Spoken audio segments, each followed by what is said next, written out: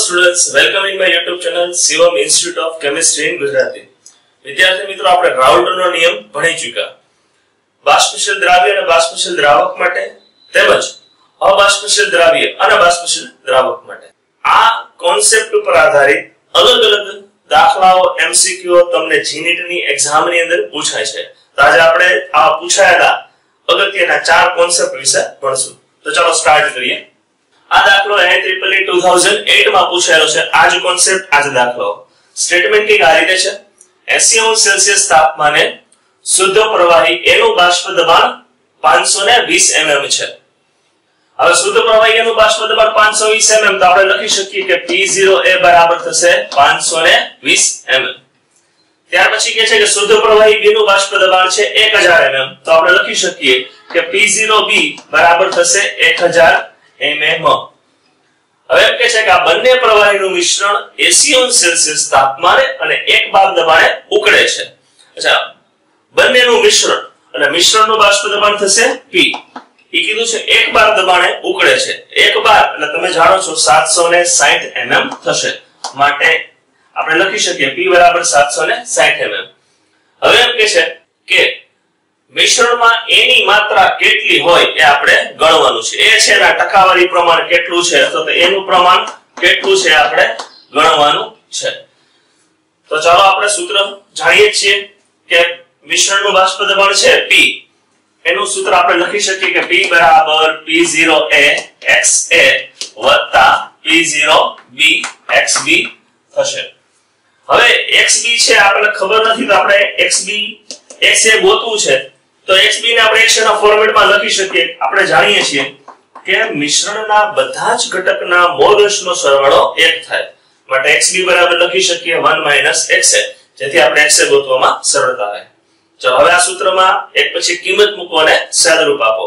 શક્ય હોય તો તમારા મોબાઈલને પોઝ કરી જાતે ગણવાનો પ્રયત્ન કરજો. અને જવાબની સરખામણી મારી સાથે કરો. ચલો, આપણે મૂકતા જઈએ કિંમત. P બરાબર છે 760 mm p0 એ બરાબર 520 એની સાથે ગુણાકારમાં xa વત્તા, આપણે લખી શકીએ. Pb બરાબર તો કે 1000 એની સાથે ગુણાકારની અંદર બ્રેકેટમાં 1 xa ચાલો, કિંમત મૂકીને આપણે સાદરૂપ આપીએ. તો આપણે લખી શકીએ 760 આ બાજુ 520 xa વત્તા 1000 અને ઓછા 1000 xa તો ચાલો 1000 ને આ બાજુ લઈ લો. તો આ બાજુ આપણે લખી શકીએ કે 760 માઇનસ 1000 760 માઇનસ 1000 બરાબર 520 xa અને એમાંથી બાદ થશે 1000 xa તો સાદું રૂપ કે 760 એમાંથી 1000 બાદ કરું, તો મને મળશે માઇનસ 240 520 છે, એમાંથી 1000 બાદ કરીએ, તો મને પ્રાપ્ત થશે માઇનસ 480 xa બંને બાજુ માઇનસની નિશાની છે, તો બંને બાજુથી માઇનસની નિશાની કટ થઈ જશે. તો આપણે સાદુરૂપ આપી શકીએ xa બરાબર. અથવા આમ પણ લખી શકીએ માઇનસ 240 એના છેદમાં માઇનસ ચારસો ને એસી. તો એકના છેદમાં બે માઇનસની નિશાની છે કટ થઈ ગઈ. એકના છેદમાં બે, એટલે આપણે લખી શકીએ 0.5 તો એક્સ એ ઘટક xa ના મોલ અંશ મને પ્રાપ્ત થયા 0.5 પણ મારે તેનું પ્રમાણ એમસીક્યુ માં મને પૂછ્યું આપેલ છે ટકાવારીના સ્વરૂપમાં. અચ્છા, આને મારે ટકાવારીના સ્વરૂપમાં મેળવવું હોય તો મારે આને 100 વડે ગુણવા પડે.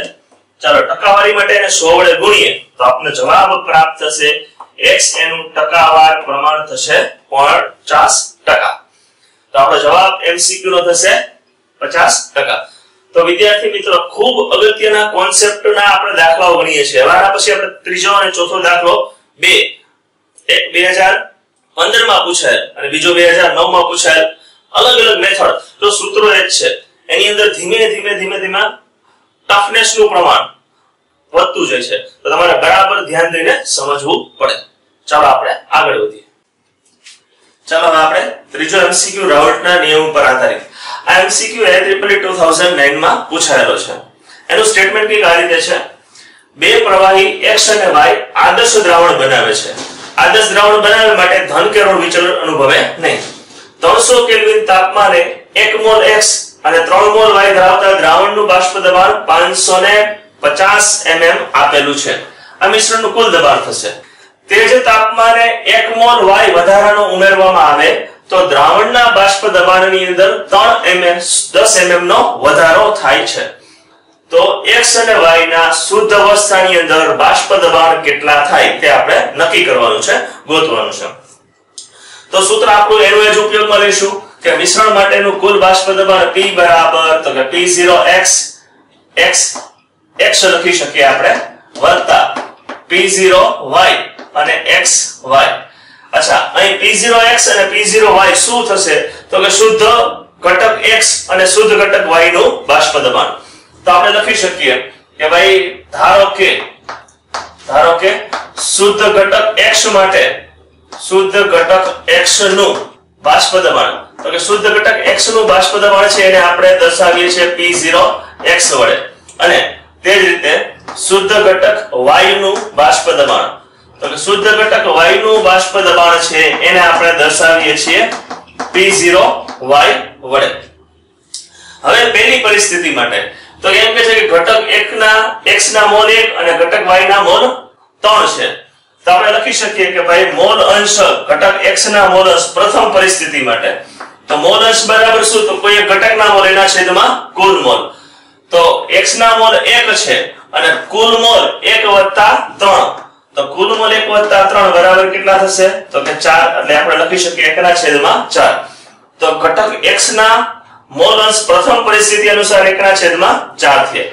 અચ્છા, બીજી પરિસ્થિતિ અનુસાર ઘટક y ના મોલ અચ્છા, કેટલા થશે? તો કે 3 મોલ છે. અચ્છા 3 મોલ, એના છેદમાં કુલ મોલ એટલે 1 મોલ 3 એટલે 3 ના છેદમાં 4 તો ચાલો, આ પરિસ્થિતિના આધારે આપણે સમીકરણની રચના કરી શકીએ છીએ. કે આ કિંમત આપણે આ સમીકરણમાં મૂકી આપણે જાણીએ છીએ કે ભાઈ કુલ બાષ્પ દબાણ આપણે આપેલું છે. P બરાબર, તો કે 550 mm તો ચાલો, આટલી વસ્તુના આધારે આપણે સમીકરણની રચના કરી શકીએ. કિંમત મૂકીએ આપણે.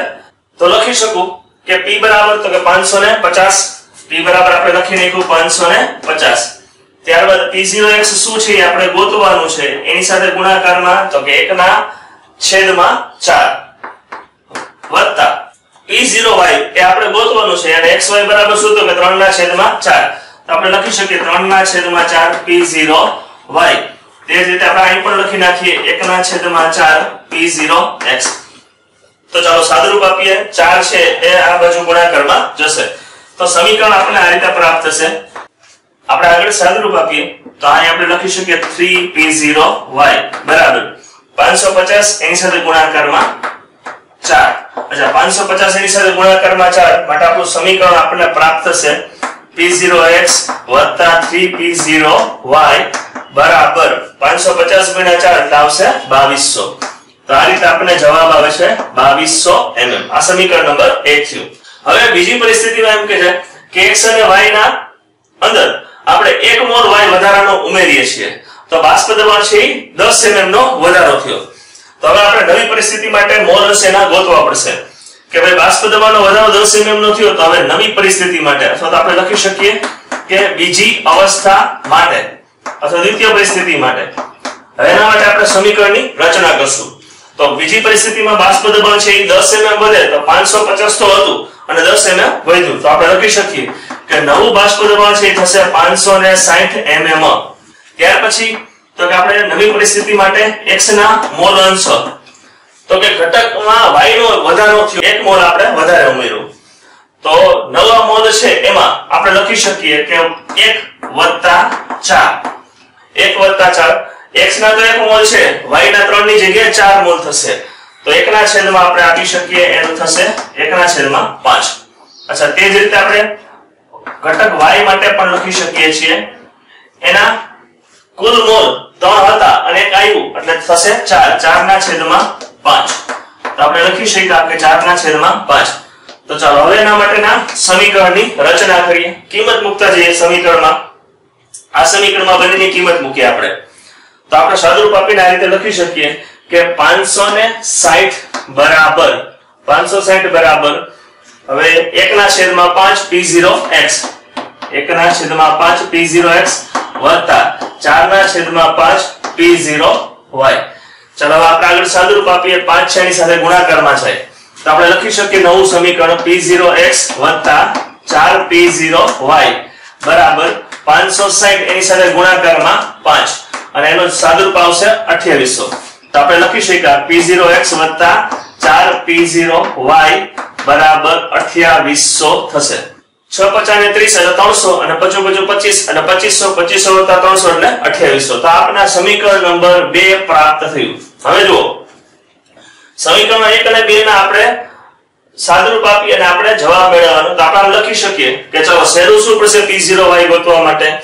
તો કે સમીકરણ 2 માંથી સમીકરણ 1 ને બાદ કરીએ. તો આપણે લખીએ કે સમીકરણ 2 માંથી સમીકરણ 1 ને બાદ કરતા. તો સમીકરણ 2 માંથી સમીકરણ 1 ને આપણે બાદ કરીએ છીએ અને આપણે તો સાદુરૂપ આપણે આ રીતે આપી શકીએ કે આ સમીકરણ 2 લખી નાખું. P0x 4p0y હવે એમાંથી આપણે બાદ કરીએ સમીકરણ નંબર 1 p0x અને બાદબાકી નિશાની સાથે p0x 3p0y બરાબર. તો કે 2800 ને એમાંથી બાદ થશે 2200 તો આપણે લખીએ 2800 ઓછા 2200 ચાલો હવે આપણે સાદુરૂપ આપીએ. P0x p0x કટ 4p0y માંથી 3 કટ થયા, તો આપણે આવશે p0y અને આપણે p0y બરાબર આપણને પ્રાપ્ત થયું. 2800 માંથી 2200 બાદ થાય, તો એનો જવાબ આવશે 600 તો આપનો p0y ની કિંમત આપણે પ્રાપ્ત થઈ ગઈ 600 mm અચ્છા p0y ની કિંમત મને 600 mm પ્રાપ્ત થઈ ગઈ. તો એ કિંમતને આપણે સમીકરણ નંબર 2 માં મૂકીએ.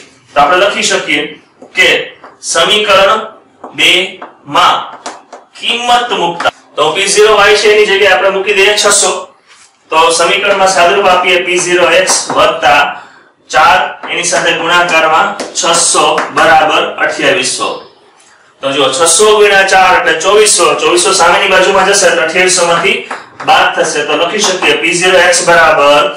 તો કે 2800 અને એમાંથી બાદ થશે ચોવીસો. અઠ્યાવીસો માંથી ચોવીસો બાદ થાય માટે પી ઝીરો એક્સની કિંમત આપણને પ્રાપ્ત થઈ ચારસો એમએમ તો જો વિદ્યાર્થી મિત્રો, આપણે આના પરથી લખી શકીએ કે ઘટક x અને y ના મોલસ અનુક્રમે કેટલા હશે? તો x ના થયા 400 અને y ના થયા 600 માટે આપણા ઓપ્શન નો સાચો જવાબ થશે C. 400 અને 600 mm એનો જવાબ થશે. તો આ ત્રિપરીમાં ખૂબ અગત્યની પૂછાયેલી મેથડ છે. આના આધારિત ઘણા બધા દાખલાઓ તમને આપેલા છે. એની બરાબર પ્રેક્ટિસ કરો અને માસ્ટરી કેળવો. ચાલો આના પછી જીનીટમાં 2015 માં પૂછાયેલો રાઉલ્ટના નિયમ ઉપર આધારિત દાખલો આપણે ગણીએ. વિદ્યાર્થી મિત્રો રાઉલ્ટના નિયમ પર પૂછાયેલો ખૂબ અગત્યનો જે નીટનો એમસીક્યુ 2015 માં પૂછાયેલો છે. અવાષ્પશીલ દ્રાવ્ય પદાર્થ માટે આપણે રાઉલ્ટનો નિયમ ભણી ગયા. એ કોન્સેપ્ટ ઉપર આધારિત છે. સ્ટેટમેન્ટ દાખલાનું કંઈક આ રીતે હતું કે વીસ અંશ સેલ્સિયસ તાપમાને એસીટોનનું બાહ્ય દબાણ છે 185 ટોર છે. એટલે કે શુદ્ધ અવસ્થાની અંદર એસીટોન છે. એનું બાષ્પ દબાણ આપણે લખી શકીએ કે 185 ટોર તમને આપેલ છે. હવે એમ કે છે કે એમાં 1.2 ગ્રામ પદાર્થને 100 ગ્રામ એસીટોનમાં દ્રાવ્ય કર્યો તો બનતા દ્રાવણનું બાષ્પ દબાણ છે 183 ટોર છે. તો આપણે લખી શકીએ કે જે કઈ દ્રાવણ બને છે, એનું બાષ્પ દબાણ તમને આપ્યું છે 183 ટોર. હવે આપણે ગોતવાનું છે કે આ અજ્ઞાત પદાર્થનું દ્રવ્યમાન કેટલું હશે. તો આપણે રાઉટનો નિયમ ભણી ગયા કે જ્યારે શુદ્ધ દ્રાવકમાં ચોક્કસ વજનનો અજ્ઞાત પદાર્થ ઓગાળીએ, તો બનતા દ્રાવણના બાષ્પ દબાણમાં થતો સાપેક્ષ ઘટાડો તેમાં ઓગાળેલા દ્રાવ્યના મોલસ જેટલો હોય છે. તો એ સૂત્ર મુજબ આપણે આ રીતે લખી શકીએ સૂત્રને કે P0 P P0 બરાબર n ના છેદમાં n n. અચ્છા, આપણે આ સ્મોલ n ને અવગણીએ, તો આપણે સૂત્રને થોડો ફેરફાર કરી આ રીતે લખી શકીએ કે p0 p p0 બરાબર n ના છેદમાં કેપિટલ n. અચ્છા n બરાબર શું છે તમે જાણો છો? આપણે સૂત્ર તારવી ગયા અને ભણી પણ ગયા. કે આ છે દ્રાવ્ય માટે છે અને આ છે દ્રાવક માટે છે. તો આપણે સૂત્રમાં ફેરફાર કરીને આ રીતે પણ લખી શકીએ. P0 p ના છેદમાં p0 બરાબર. દ્રાવ્યના mole. n capital small n છે, દ્રાવ્યના મોલ છે અને આ છે દ્રાવકના મોલ છે. તો એના માટે આપણે લખી શકીએ દ્રાવ્યના મોલ બરાબર. તો કે w ના છેદમાં m.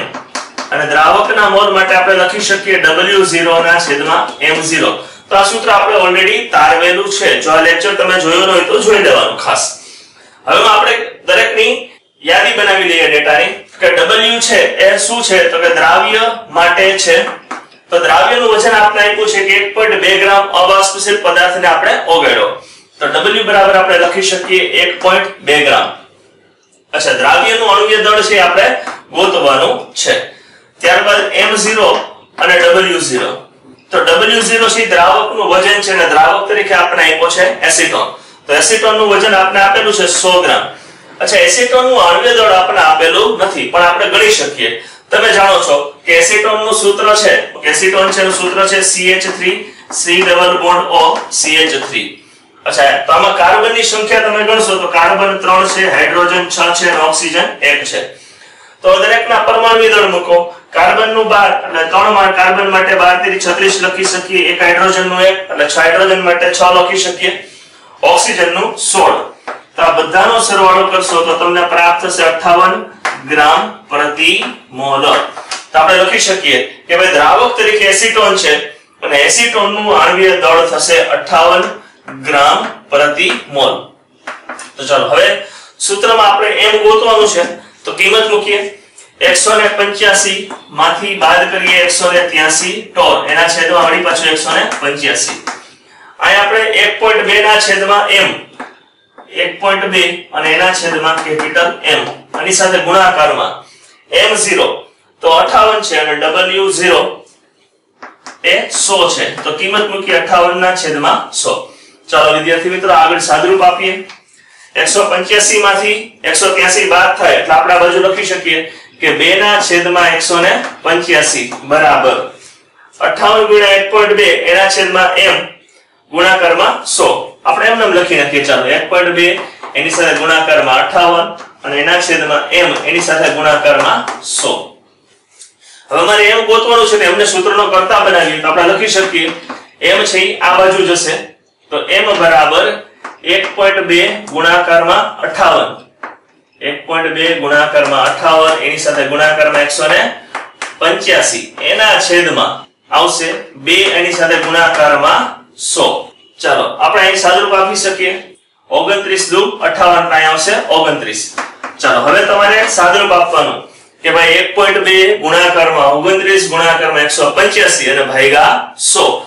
તો આટલું કરશો તો તમારે જવાબ આવશે દાખલાનો 64 ગ્રામ પ્રતિ મોલ.